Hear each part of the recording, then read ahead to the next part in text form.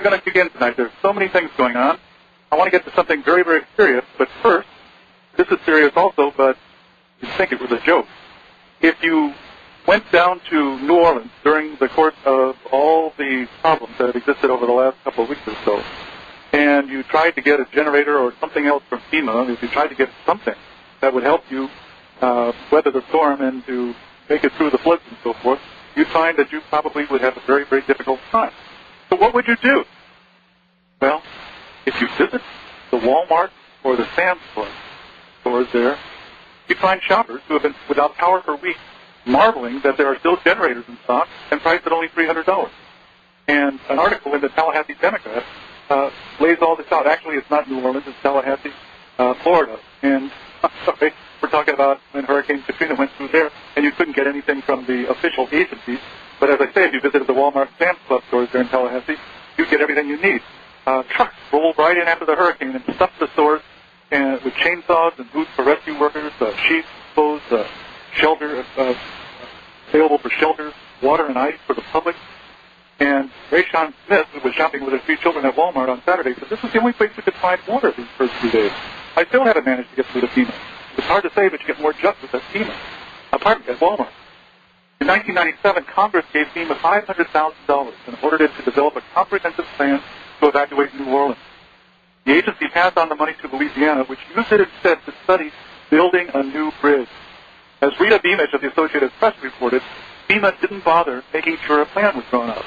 And DeWitt said its job had just been to pass on the money. Now, how often do you suppose someone at Walmart headquarters presents $500,000 and doesn't bother keeping track of it?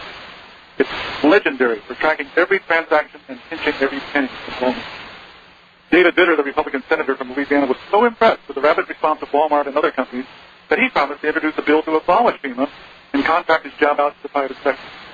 I'm afraid the Walmart Emergency Management Agency is going to be a tough sell on Capitol Hill, but David Vitter, the Republican senator, says he votes for WEMA, Walmart Emergency Management Association, every time. Well, just one more example of how the free market responds where the government doesn't. Well, I'd like to talk to you about something a little more serious and a little more, and a little more permanent. And that is the whole concept uh, that I think of as the delusion of force. You know, the simplest way to define a libertarian, I think, is as a person who opposes government involvement wherever possible. A libertarian is someone who wants to get government out of your life. A libertarian wants to get government out of as many current programs as possible, and he opposes any new government programs. But why? Why does the libertarian oppose government activity? Because government is force. Every government activity involves the use of force. Forcing people to do what they haven't chosen to do, forcibly preventing people from doing what they have chosen to do, and or forcing people to pay for activities they don't want to pay for.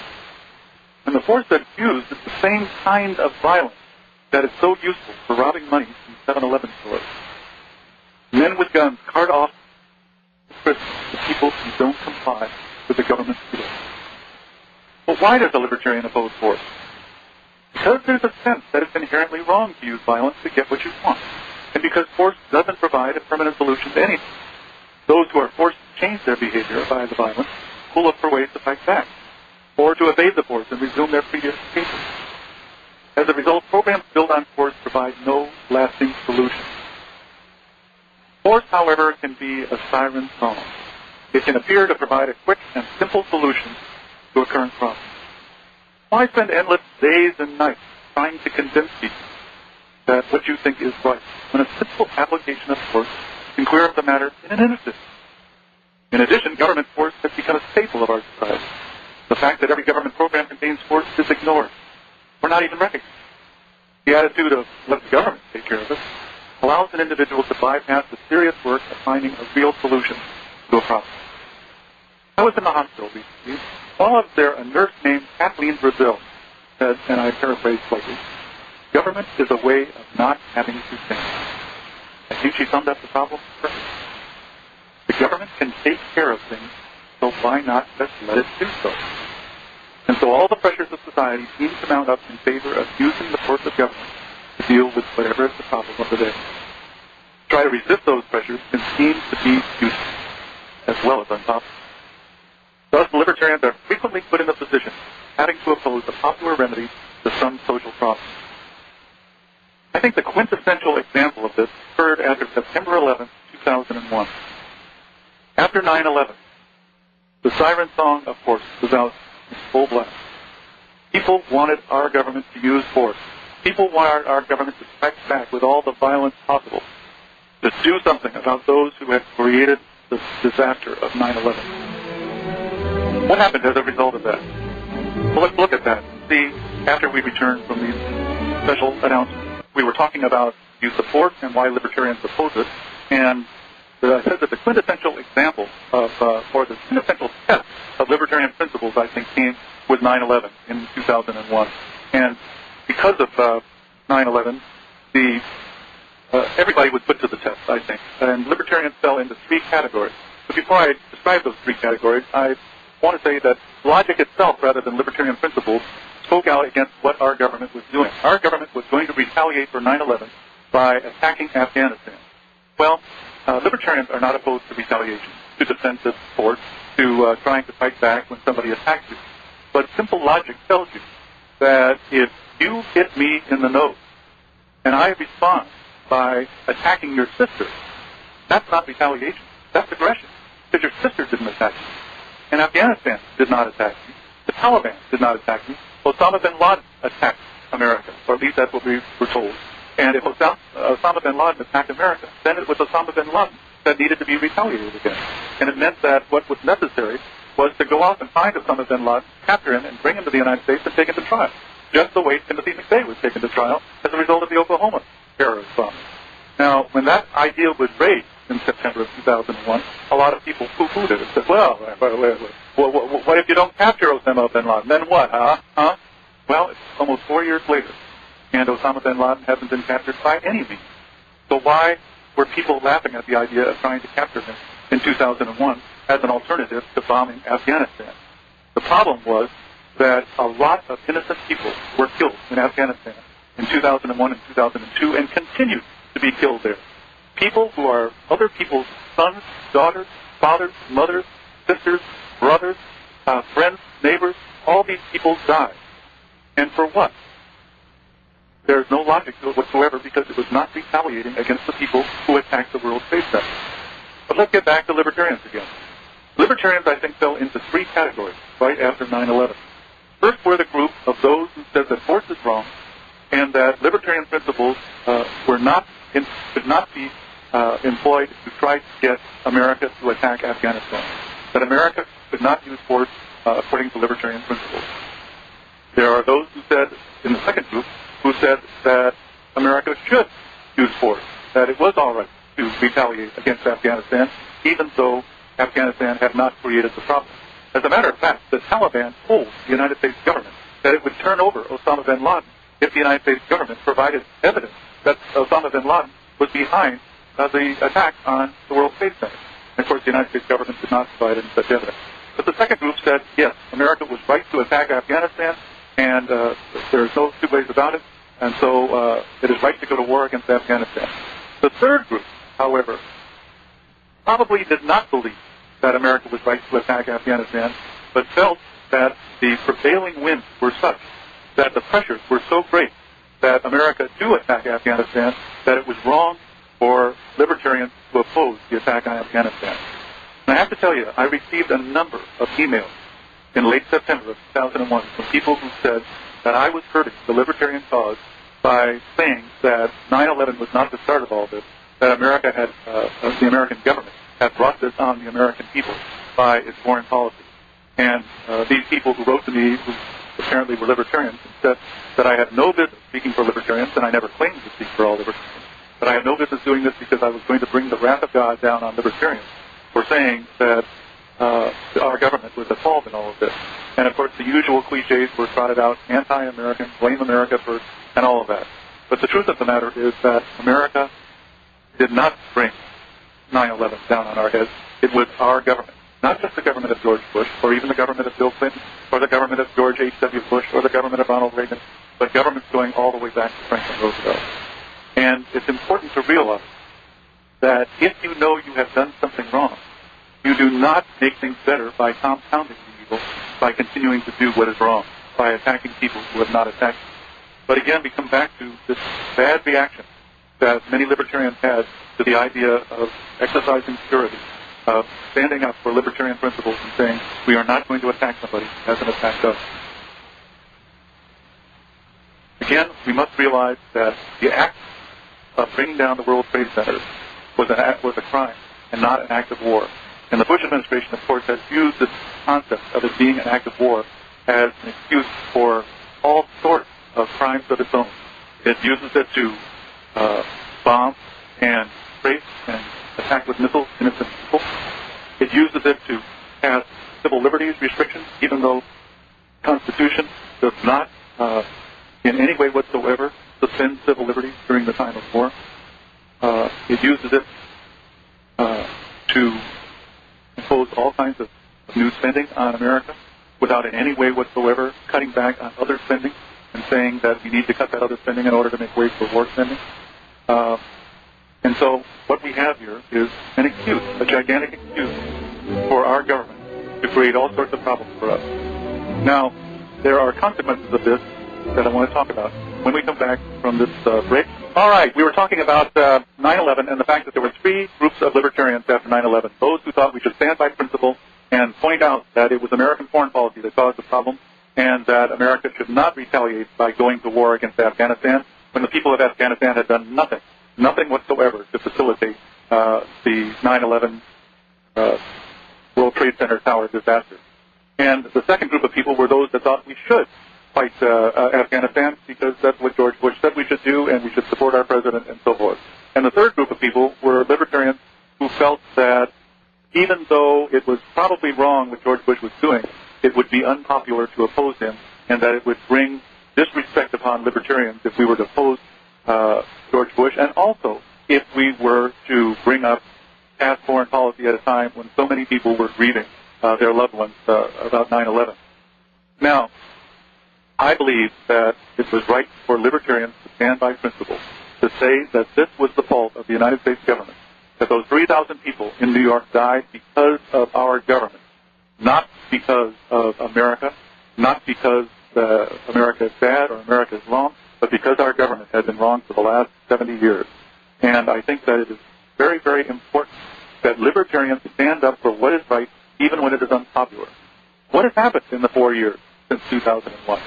Well, first of all, we've had a war in Iraq, which continues, and most Americans realize that that war was wrong, that we never should have gotten into the war in Iraq, even though in 2002 and 2003, most Americans believed it was right to get into war with Iraq. But libertarians who stood fast and said that it was wrong have been proven to be right.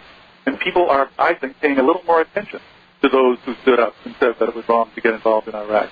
I also believe that a lot more people realize today than did in 2001. That it was wrong to get into war in Afghanistan. Anybody who pays attention to what's going on, on in Afghanistan knows that the warlords have taken over the country. That the so-called president who was elected in the so-called free elections in Afghanistan is being protected by American troops. And if he were not being protected by American troops, he'd be assassinated in a moment.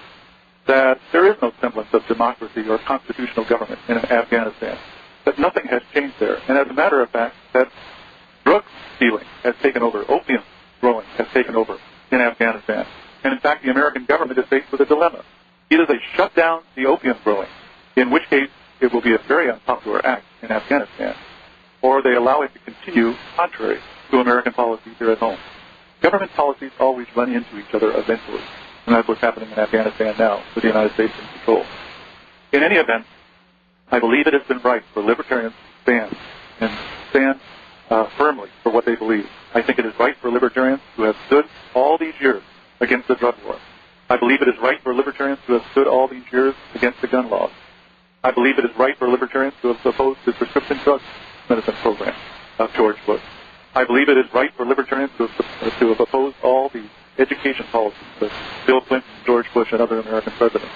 I believe that it is right for libertarians to stand on principle always. If we don't stand on principle, who's going to? If we don't stand on principle, who's going to point out what the right policy is? Who's going to point out what would actually make things work? Who's going to point out what would make health care better in America?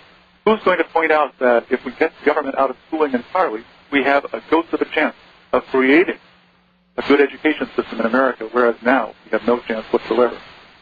Only libertarians are going to do that. And only libertarians can do that if libertarians stand firmly on principles. And only if libertarians are consistent. You can't be consistent by saying force is wrong here, but force is all right there. It isn't right. It is never right. You know, so often the question comes up. Uh, I've been on a lot of talk shows over the years, obviously. And so often the question has come up about, uh, well, you know, you libertarians, you want to privatize uh, the streets. How are you going to operate the streets without government? Who's going to pay for them? So forth and so on. And it can seem to back libertarians in a corner to where you want to say, uh, well, I'm not in favor of, uh, of uh, privatizing streets. That would be too extreme or something else. But all you have to say is, well, I have no doubt that if the streets were privately owned and operated, they would be much more efficient, much safer, and much more comfortable to drive on than they are today. But that's not an issue right now. Right now, we've got bigger things to worry about: a 2.7 trillion dollar government and other things that are of immediate concern. You don't have to, to back away from anything. We have a uh, an email from Bob out cyberspace that says that given that Bush has proposed whatever it takes to pay for Katrina, would you explain to me how we would be better off if U.S. citizens' personal savings rates were positive and not negative? Uh, a positive savings rate means that America is saving more than it is borrowing uh, from foreign countries and uh, from people in the United States itself. And you, of course, within the United States, you just have to have a balance of uh, savings and borrowing because the borrowing can only come from savings, but sometimes it comes from overseas. Anyway, right now the savings rate is negative, and uh, Bob wants to know how we would be better off if the savings rate were positive. How does having billions of dollars in personal savings in the bank help to mitigate the problem of the government responding to a disaster such as Katrina? Would that help the government keep some deficit spending related to this disaster? No, it would not, because the government would have to borrow the money from those who have these savings. It would have to sell bonds, and you would have to take the money out of your savings account and use it to buy long-term Treasury bonds or even short-term Treasury securities. And the deficit would be just as bad as it is now. So it would not be any different, Bob. You know, returning to the uh, to the question of force, um, I remember back in, I guess it was about a year or so ago, Wolf Blitzer, uh, one of CNN's star reporters, was on The Daily Show with Jon Stewart. Now, I've mentioned The Daily Show before. Jon Stewart is a very funny guy, and they have very, very funny writers on that show. And they are one show that holds the politicians' feet to the fire, and not just the politicians, but the media, the television networks.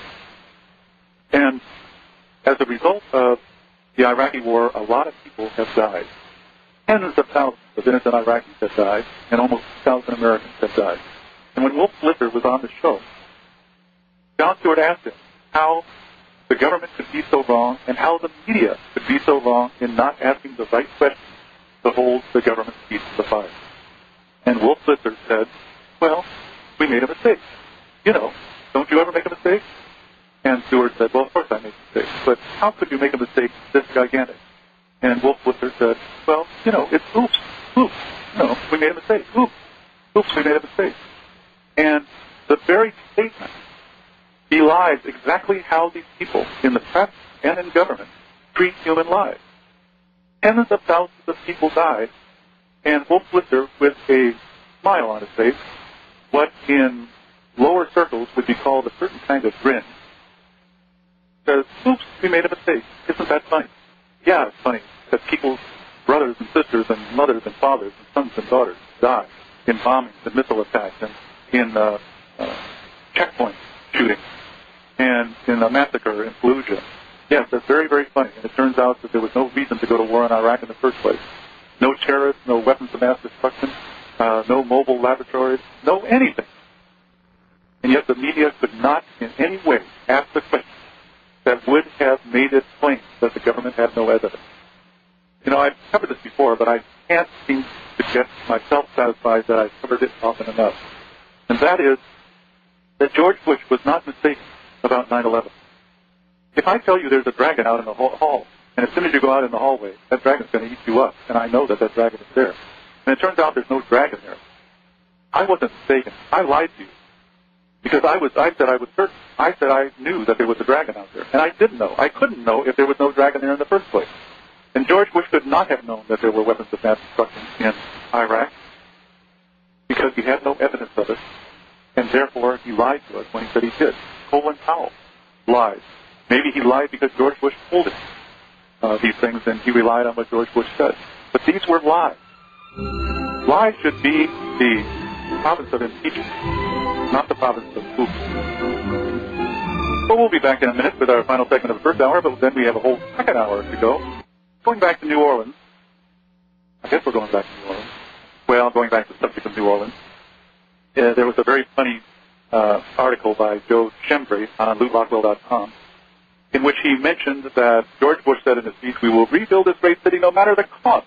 Congress has already authorized $62 billion for the flood disaster needs, and now the politicians are talking about $200 billion as the net expenditure. $200 billion. And Schembri says, does anyone in the federal government realize how close this comes to paving the streets of New Orleans with gold? Just divide $200 billion in reconstruction money by the 1 million residents of the city, and you get $200,000 for every man, woman, and child in New Orleans. For a typical suburban family of four, that means $800,000. Can not only rebuild their home, but raise it and rebuild it, raise it and rebuild it, and then raise it and rebuild it again, and still you'd have money left over.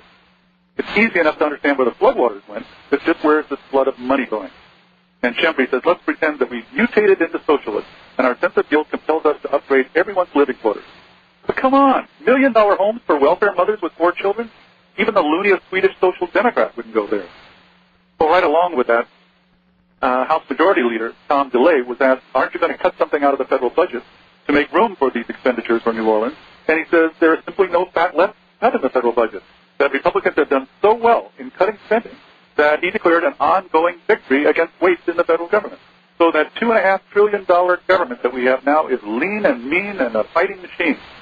And when asked if that meant that the government was running at peak efficiency, DeLay said, yes, after 11 years of Republican majority, we've pared it down pretty good. Amazing. It is amazing how these people delude themselves, delude themselves into believing that they are budget cutters, that they believe in smaller government, that somehow or other they have done what they said they were going to do back in 1994 when they took over Congress, that they are going to, that they have actually reduced government. Well, I'm sorry, but reducing government means going from seven to five, not from seven to nine. I talked about uh, Wolf Blitzer on the Daily Show, and one of the things he said in defense of his network not uh, being more skeptical of what uh, George Bush said was that the whole world thought that Saddam Hussein had weapons of mass destruction. But nobody seemed to ask the simple, obvious question. How did the whole world arrive at the conclusion that Saddam Hussein had weapons of mass destruction? Because George Bush told them so. George Bush and Colin Powell and Dick Cheney, and I suppose Donald Rumsfeld got in there somewhere too, all said that they had evidence that Hussein had weapons of mass destruction. And so naturally, the United Nations, then Russia, and Germany, and France, and all these countries thought that the uh, that Hussein had weapons of mass destruction, and the only argument was over what should be done about it. Well, so.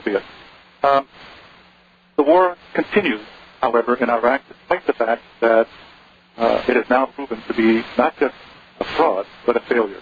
That it has not brought democracy to Iraq. It has not brought peace and stability to the Middle East. It has not ended terrorist activities. It has not done any of the things that it was supposed to do. And it's interesting how wars follow similar patterns over and over and over again.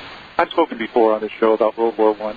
There are so many things that happened in World War One that were repeated in World War Two and in the Korean War and in the Vietnam War and now in the Iraq War. And one of them is the people who are charged with conspiracy to interfere with recruiting. It is not against the law to be opposed to the war in Iraq, but it is against the law to interfere with the recruiting of troops in the Army, Navy, Marines, the Coast Guard, or whatever. And sometime back in Binghamton, New York, the trial, a trial began for what is called the St. Patrick Four. Four anti-war activists who faced conspiracy charges for spilling their own blood inside a military recruiting station to suppress the Iraqi war. Uh, what happened is they went in there and they had some of their own blood, I guess, in a jar and spilled it on the floor. And Daniel Burns, one of the defendants, said, we wanted to make visible the truth of war. We were called by our faith, the law, and our moral beliefs to peacefully protect the war. Well, they were then uh, arrested and charged with uh, desecration of property and so on. And it's interesting that in World War I, people were not arrested for opposing World War I so much as they were arrested for interfering with recruiting, with trying to talk young people out of joining the army, for the draft or whatever it may be. And a state court jury refused to convict them once the peace activists convinced the jury that their actions were consistent with international law. I don't know the details of that, but the activists, I do know the activists argued that the 19, uh, the 2003 invasion of Iraq was illegal under international law because it was not approved by the United Nations. Now that's something that you or I might not stand up and cheer about, but they did it, and so they were acquitted. But then the federal government got involved this year, and the four protesters are now being charged under federal law and face up to six years in prison and $275,000 in fines. And um, uh, they have admitted from the beginning that they went into the recruiting centers, that they knelt down, that they read a very powerful statement, and then they poured their blood around the vestibule of the recruiting center, including on the American flag. And they've admitted that ever since uh, they've admitted it ever since they did it. And they're proud of it. They knelt and they prayed and they were taken away and arrested.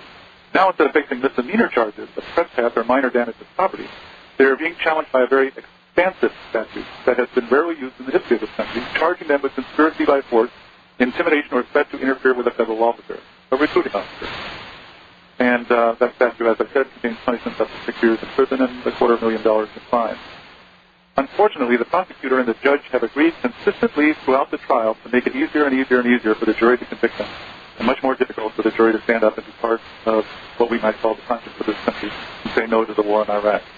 So uh, that's going on now. Uh, replay of World War One. Um,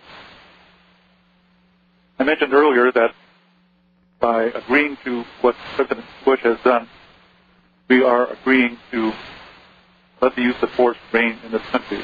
And we have an ongoing case here of Jose Padilla, whom I've spoken of before, but not perhaps in the last six months or so. Uh, on, uh, let's see, when was it? Back in 2002. Jose, let, let, let me back up a little. Jose Padilla was, is an American citizen who went to uh, Afghanistan and trained with the uh, Al Qaeda and came back here, and uh, he was arrested by the American government. And the American government decided that he was an enemy combatant and that he had no right to an attorney. He had no right to a day in court. That as an enemy combatant, he could be held without trial, held without being charged with a crime, for as long as the war on terror should last. And that war on terror, of course, is bound to last for the rest of our lives. Because there's no way that you can end a war on terror. But in 2002, U.S. Judge Michael Mukasey decided that Padilla must have access to an attorney, and so he assigned him one. The attorney requested that the judge vacate the warrant against Padilla since Padilla had not been charged with any specific crime. And at that point, it was that the Bush administration declared Padilla an enemy combatant and took him to a naval brig in South Carolina, where he now remains without access to a lawyer. He said he has no access to the press, no access to his family, no access to the outside world at all. And Padilla had been accused of plotting with Al Qaeda to explode a dirty bomb in the United States. Eventually, the government stopped accusing him of that, and instead claimed he wanted to blow up apartment buildings with natural gas. Of course, you can only suspect that with the story shifting so much, the evidence might not withstand the scrutiny and cross-examination of the jury trial. This February of this year, federal court in South Carolina ruled that the Bush administration could not legally hold Padilla as an enemy combatant without charging him with a crime. And by overruling that, uh, well, let me wait now until we come back from this break, because the Fourth Circuit of Appeals has now stepped in and thrown shade to that. We'll be back in just a couple of minutes, and I'll interrupt my commentary about uh, Jose Padilla long enough to take a phone call from Gordon in Pennsylvania. Good evening, Gordon. Hi, Harry. Um, if it isn't prying too much, could you give us some um, sense of your medical condition and how you're doing since your hospitalization? I, I don't have any personal relationship with you, of course, but I have a sense of apprehension and uh, worry uh, normally reserved for lifelong friends. Well, I appreciate that. Actually, I never have really given any kind of uh, uh, comprehensive uh, tale of uh, what exactly happened. I'll make it as brief as possible. That uh, early this year in June, I developed a tremendous pain in my right leg and went into the hospital. And about 20 doctors have examined me at one time or another, and no one has been able to come up with a definitive diagnosis. There are two possible diagnoses for which I have been treated uh, recently, uh, and we will see whether they have some effect on the result. But the basic result is that I do not have enough strength in my right leg to stand on it, and therefore I am wheelchair bound. And I'm hoping to, through therapy, to develop enough strength to at least be able to walk with a walker and even possibly walk with a cane, and uh, continue to work on it, and maybe at some point in the future be able to walk normally again. I don't know. but I do know that my wife Pamela and I have, excuse me, my wife uh, Pamela and I have adapted mentally and physically to the situation so that we are doing fine. And we've had to make a number of changes in our life. Uh, we had a house that had two stairways in it, and I can't get up and down those stairways. So we had to move into a much smaller house on one level. Uh, that's all right. It uh, prompted us to get rid of about two thirds of the things that we had piled up in boxes and other places, and uh, to make room for uh, to live in this uh, little house. And I actually like the simplicity of it uh, very, very much. Fortunately, my as far as I can see, others might disagree, but as far as I can see, my mind is not affected, and uh, uh, I can still write, I can still read, I can still talk. So the radio shows will no longer be interrupted, and my television show will continue. Last uh, weekend, I taped the first new episode in quite a while, and it went up on freemarketnews.com on Wednesday. Yeah, I saw that. And tomorrow I'll be taping a couple more that'll be going up on the next two Wednesdays. So uh, the one thing that uh, there's two things actually where I have been interrupted is I have not uh, been writing articles lately, and I have not kept up with the journal. But I'm hoping that this next week I might be able to uh, begin getting back to doing some writing and getting uh, more articles on my website. Uh, the other area is in speaking. I just uh, do not think that I want to undertake uh, flying at this point in uh, the situation, and so I will not be traveling anywhere to speak. However, I will be uh, driving. Pamela will drive us to Atlanta, the middle of October, the uh, third weekend in October, for the Advocates for Self-Government uh, 20th anniversary celebration, Friday, Saturday, and Sunday. I saw I beg your pardon? I saw that. that um, Oh, in the Freedom Wire message. Freedom Wire, yeah. Yeah. If you go to advocates, uh, oh, no, what is it, selfgov.com, I'll put the link up on uh, the radio link page. Uh, you can see the link to the celebration. There's going to be a lot of very nice people there. Hugh Downs will be speaking, and uh, Ron Paul and a number of other people, and will be an opportunity to meet and, and mingle with people uh, much like yourself and uh, have a good time. And it will be an opportunity for me to see a lot of people to, to say hello to you or others uh, that I might not otherwise have a chance to say hello to. So I hope you'll give some thought to perhaps attending that. I think it will be a, a very, very uh, enjoyable affair. So anyway, what I'm trying to say is that uh, I appreciate all the good wishes that I have received, and I am very, very glad to have them. But I really do not need any sympathy. I am going to uh, live through this, uh, and I'm going to enjoy my life and prosper. If this is the way I will be the rest of my life, then so be it. If, I, if it turns out that I can do better than this for the rest of my life, even better. But it isn't necessary for me to enjoy my life. That's wonderful, Harry. So we'll be hearing from you. I'll be able to pick your brain for the next 20 years or so? 20? Is that all you give me? well, okay. That, I, was, I was being conservative. Yeah, the one thing that I regret is that I missed my high school's 20th anniversary reunion, and I missed the 30th reunion. And I was looking forward to the 55th reunion. I hate to give my age away, but uh, in Los Angeles, uh, the 1st of October. And I just decided that trying to fly to Los Angeles was too much, and I got a list of all the uh, attendees that had signed up, and here were all these people I knew in high school, old friends of mine, and I, I really regret that. So that's the biggest loss I've suffered so far as a result of this, and I can I can stand that. Anyway, Gordon, I appreciate your concern, and uh, and uh, I, uh, I I'll, I'll if there's any drastic change in, in uh, the situation for the better or for the worse, I'll try to let you know. Okay. Well, thanks for reassuring. I, I hope you're you're able to uh, recover quickly and do everything you did. Thanks again, Harry. Thank you so much. All right, now back to, to uh, worse times with Jose Padilla. Um, I mentioned that uh, uh, Padilla was uh, identified as an enemy combatant without charging him as a crime. Uh, and then in February, the federal court in South Carolina ruled that the Bush administration couldn't legally hold Padilla as an enemy combatant if they didn't charge him with a crime. But now the Fourth Circuit of Appeals has overruled a basic tenet of American constitutional liberty. The very one of the most basic tenets, and that is the rights of the accused. No one can be held without uh, charge. No one can be held without uh, a warrant or the grand jury being presented against them. And yet, with the Padilla case, we've seen the Bill of Rights and due process just cast aside. All right. There's an interesting thing here about the Roberts case, about Roberts' uh, nomination for the Supreme Court constitutional law that I want to make. So don't go away.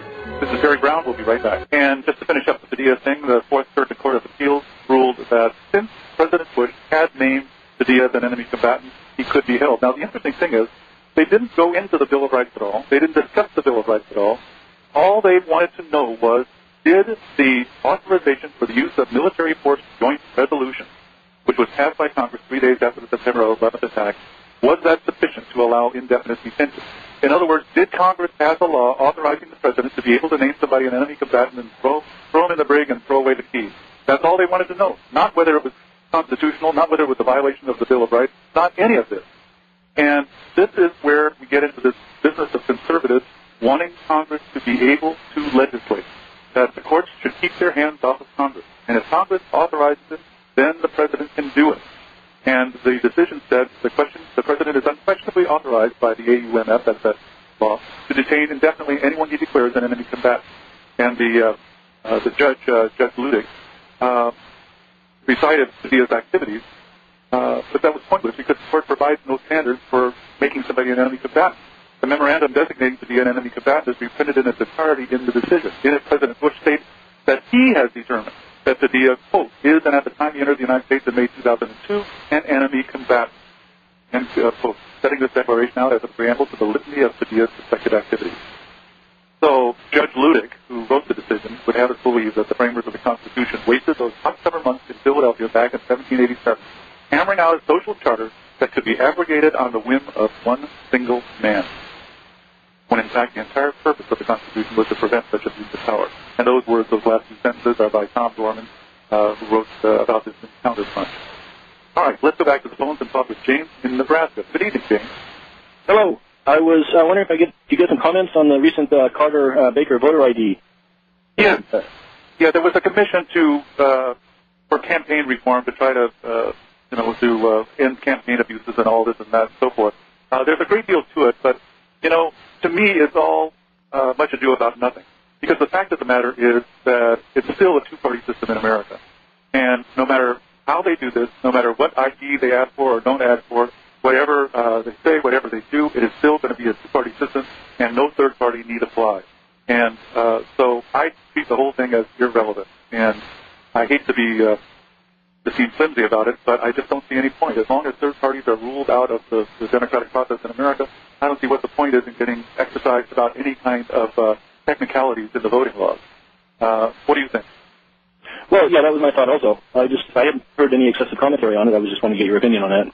But yes, as long as we're uh, still voting on the same two parties, it doesn't really matter whose photo was on the ID. Yeah, and it doesn't matter uh, who gets the edge because of the voting machines or anything else. Uh, I, I, I just don't find any interest in uh, coping with any of this stuff or investigating any of this stuff. It, it just means nothing to me. And I know a lot of people are really exercised about the, the voting machines and think that they're uh, an opportunity for fraud in the electoral counting and so forth. But uh, I don't really care. You know, I don't care whether Kerry gets elected or Bush gets elected because both they both mean the same thing. Yeah, I I agree. It, seems like the Democrats are all up in arms. I think it's in a big Republican plot to, to cut out certain certain voters of different ethnic groups and uh, you know different regions. But um, you know, it's still the same vote. Yes, you're you're absolutely right. All right. Anything else on your mind, James? Oh, that's it. Okay. Thanks for calling. Thank you. Uh, you know, getting back to Iraq, uh, it's interesting that recently the, uh, the the six governments made a deal on North Korea. Six governments being North and South Korea, China, Japan, the United States, and uh, who's the other one? Soviet Union.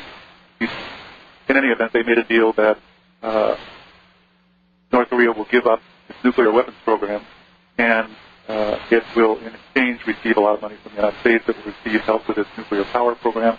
It will receive all kinds of goodies.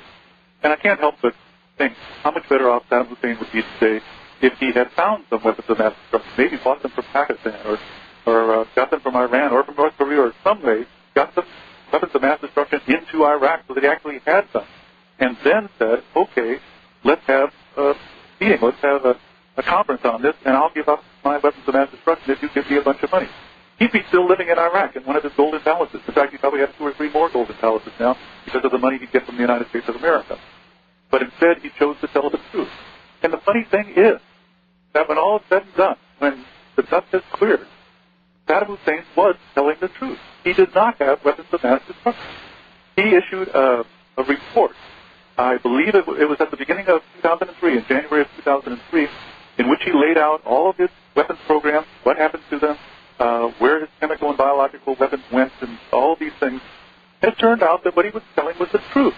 George Bush probably never read the report. He probably never even asked somebody to read the report for him. He just simply dismissed the whole report as a pack of lies. Well, you can't believe anything Saddam Hussein says. But in fact, Saddam Hussein was telling the truth. Hussein was telling the truth, and Bush was lying. Bush was lying when he said he had certain evidence that Hussein had weapons of mass destruction. And it seems to me a pretty sorry mess when a brutal dictator like Saddam Hussein can be believed and your own president can't be believed. That's the way it turned out. And we had a nice question from Tom outside. It's not a question. He says, when George W. attacked Afghanistan, I told a group I worked with that we should not be going there because they hadn't attacked us. I was looked at in disbelief. What do you mean they asked? I tried to explain that the country and people of, Afghanistan did not bring down the World Trade Center, and that we would be killing a lot of innocent people by going there. Well, one woman replied angrily, we had over 3,000 innocent people killed in the U.S., so I think we should be able to kill at least twice as many innocent people there. He actually said that. All I could reply was that it is never right to kill innocent people. I didn't know what else to say. I just didn't bring up the subject with her anymore. Well, I know how you feel. At a time like that, your patriotic motives are brought into question. You uh, are thought to be anti-American. Uh, you are thought to be living in a fantasy world. You've got to get into the real world where uh, real politics uh, exists and where uh, you have to deal with things as they are, not as you wish they were, and on and on and on and on and on. So I, uh, I sympathize with you.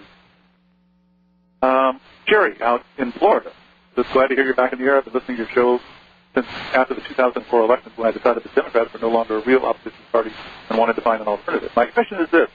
As I'm researching the Libertarian Party and its principles, I've been checking out different libertarian websites and blogs, and it seems that many are more like Republicans in their views than libertarians. A difference of opinion is understandable, but some contradict libertarian principles greatly.